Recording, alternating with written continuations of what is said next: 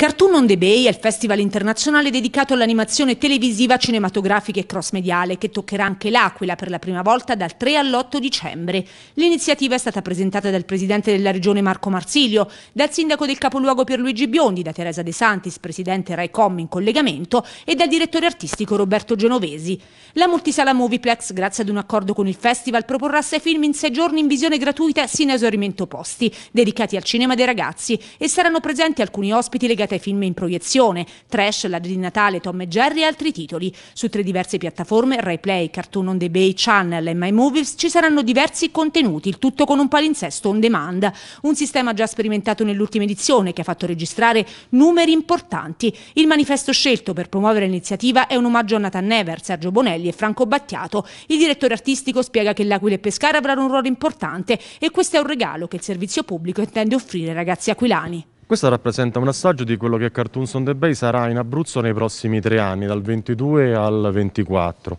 Abbiamo deciso di cominciare con una premessa del festival all'Aquila a Natale,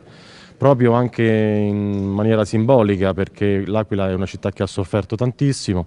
e quindi era giusto che i bambini e le famiglie aquilane ricevessero da parte dell'azienda pubblica un regalo che abbiamo costruito tramite un festival che ormai da 26 anni porta i più importanti film e prodotti internazionali d'animazione nelle case degli italiani e nel, diciamo, tra le famiglie ovunque il festival vada perché noi ci siamo spostati